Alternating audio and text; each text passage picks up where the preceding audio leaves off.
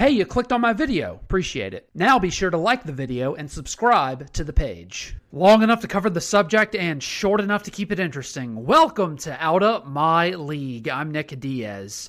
Now, when I ask LSU fans, what are the strengths of this year's team, they immediately say, well, wide receiver and defensive line. You look at the talent, you look at the depth, and you look at the experience at wide receiver and defensive line. And that's right. But for some reason, no one brings up safety. Now, I don't think people realize how much talent and depth are at the safety position at LSU. And maybe they don't realize that because that wasn't a talking point for a lot of uh, LSU media or media at all when it came to what are LSU's strengths because the safety position has sort of been devalued uh, in recent years because of the way the game of football has changed. Maybe that has something to do with it and partially because you may not have a first rounder that is a starter at the safety position. But looking at that safety position, I can't find a weakness at that spot. Not one. So, looking at the starters in spring, the two high safeties, free safety and strong safety, Jay Ward and Joe Foucha. Those were the guys that started all throughout spring, and they're probably going to be the starters going into the season. And at the nickel safety, Greg Brooks. And mind you, Greg Brooks had the most interceptions all throughout spring practice. Now, it's in spring practice, so you don't understand the context of all of them. We saw a video of one of them. But here's what's interesting to note about your starting three safeties Jay Ward, he was your third leading tackler last season, and he had 11 starts. Not played in 11 games, he had 11 starts at free safety. Joe Foucha, coming from Arkansas, he was the team captain. He has 34 SEC starts at Arkansas.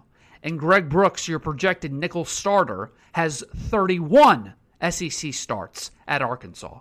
So, as far as guys that need to prove it at the SEC level, you don't have that problem. Now, returnees, when it comes to depth, you have all these names Todd Harris, Matthew Langlois, Sage Ryan, Derrick Davis, Major Burns, Jordan Toles. But you know what I noticed about all of them when you look through that whole list? Some young, some old. Every safety behind the projected starters is at least a five star or has at least three years of college experience outside of Matthew Langlois. He's the one exception. But Matthew Langlois got reps with the second team all throughout spring practice. Now, that was mostly due to injuries and guys being out, but every single guy on this roster, including the backups outside of Matthew Langlois, is either a five star coming out of high school, and if they're not a five star, then they have at least three years of being on a college campus. Todd Harris, he's a six year senior, He's only started four games, but he's a six year senior graduate student. Sage Ryan is going to be a nickel safety. That's where he's kind of settled in. That's where he feels more comfortable, close to the line of scrimmage. He was a five star, number one safety coming out of the state of Louisiana. Now, he's nursing an injury from last year, and also he admitted that the culture shock of moving away from home at 18 years old, even though it's only an hour from where he grew up, was difficult for him he wasn't going to lie. The college lifestyle really got to him, living on his own, doing his own laundry, going to class. There's no shame. It happens to almost every college player. And then you have five star Derrick Davis, who's going into his sophomore year. He was the number one safety in the country coming out of high school from Pittsburgh, Pennsylvania. I he totally fell off my radar last year. Then again, a lot of things fell off my radar last year because I was just trying to drain it from my memory. But Derrick Davis was the number one safety in the nation from Pittsburgh, PA, coming out of high school. He was your highest rated safety, not Sage Ryan. We just talk about Sage Ryan because he's from Lafayette. Major Burns, four star guy from Baton Rouge, transferred from Georgia, three year sophomore. He had five starts last season. Jordan Toles, he's a third year safety. He hasn't started yet, but again, an experienced guy, been on a college campus. They tried to move him to corner to add, add some depth in spring, but then they realized no, it's just better to leave him out, about at safety. So when you look at that, you go three deep at the safety position, not just free safety, strong safety. You go three deep at two high safeties and nickel. You have three at each position. So, do you have talent? Yes. Do you have experience? Yes. You have depth. But here's the thing you also have versatility in case of emergency. Greg Brooks can play nickel. He's going to play nickel, but he can also play high safety or he can play corner. Jay Ward was a cornerback before you moved him to safety last season. He, he became your full time starter. Sage Ryan can play cornerback, he can play nickel, or he can play safety. He did it all throughout high school. So, all the depth that you have, you also have versatility to go along with it in case, God forbid, and I don't think this is going to happen this year, you have another slew of injuries. But with all that depth and talent and experience you have coming back, something we also don't talk about when it comes to all these position groups are the position coaches, which outside of Brad Davis are all brand new.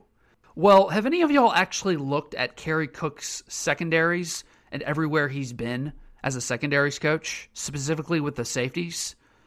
So he was at Wisconsin, Notre Dame, Oklahoma, Texas Tech. He was in the NFL for a year with the Minnesota Vikings. When he was at Notre Dame, he was there for two stints. He had a top 15 pass defense in the country. In one of those years, he was a co defensive coordinator. When he was at Wisconsin, one of those years, they had the number one pass efficiency defense in the nation, in the entire country.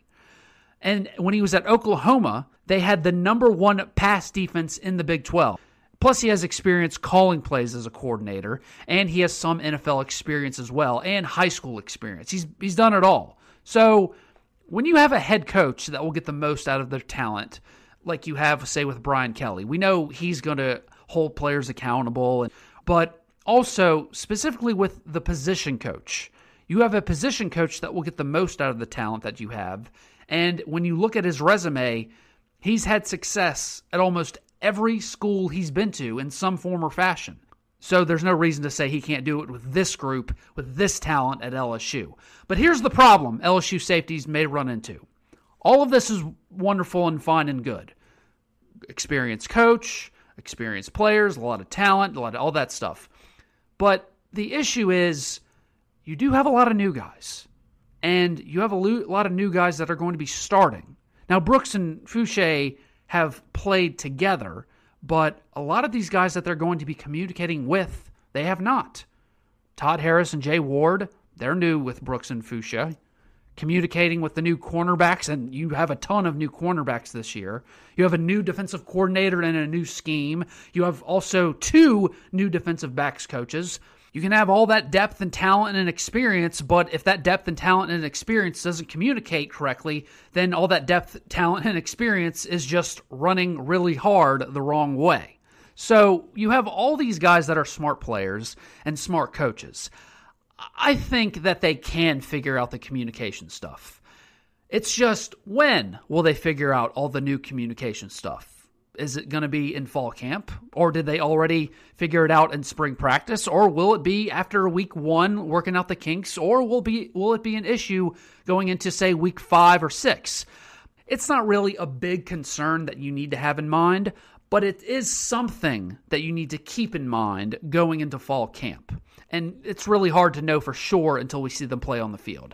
But the keys for these LSU safeties to look good this year are one, communication, because You've got new guys, new scheme, new coaches, but that kind of goes with every position on LSU's roster. But the second thing is that I'm really interested in seeing are the young, talented guys, the two five stars, Sage Ryan and Derrick Davis. Will they take a step forward? Obviously, they had horrible coaching last year. Do they take that step forward as five star, highly rated guys that everybody in the country wanted? But when it comes to the strength of this LSU football team, wide receiver, defensive line, and safety will be the strength of this team. Thanks for listening to Out of My League. If you like what you heard, be sure to like, share, and subscribe. Or follow me on Twitter, Facebook, Instagram, and TikTok in the description link below.